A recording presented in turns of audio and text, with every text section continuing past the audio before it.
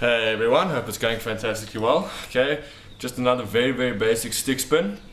Okay, that a lot of beginners really love and it looks really cool is the classic fake spin.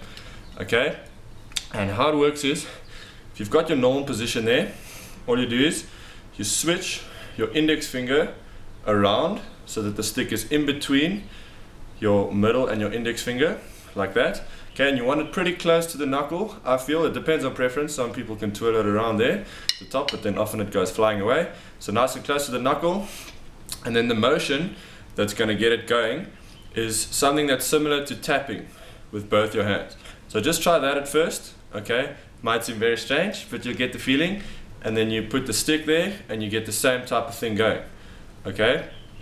And then once you get it, it you'll see it's very easy. It's like riding a bike you never forget it. The other way around, some people have preferences as to whether they like to go clockwise, anti-clockwise.